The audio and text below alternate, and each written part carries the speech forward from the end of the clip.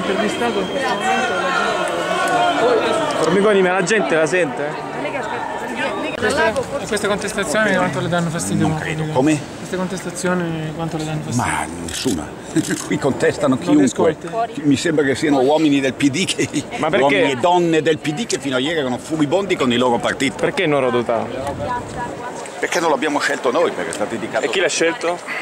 Mi sembra il 5 Stelle sulla rete, no? Con un metodo di chiusura. Se le scelte devono essere condivise, si dialoga. Se non si dialoga non possono essere. Ma perché non usate uno strumento decisionale anche voi?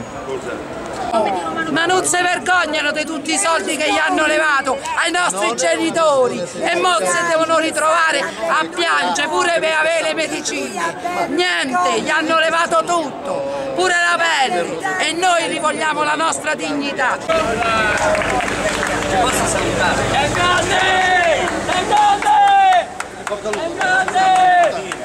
Ok, perfetto, perfetto, bravo. Ti posso salutare? Alessandro, ti voglio salutare. Sei quello che a San Giovanni. Bene, tu?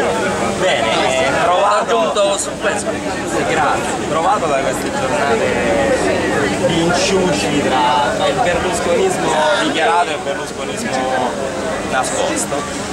E noi si vota Stefano Rodotà perché è il miglior candidato possibile per, per la Repubblica Italiana e lo votiamo fino alla fine ragazzi. Anche alla quarta.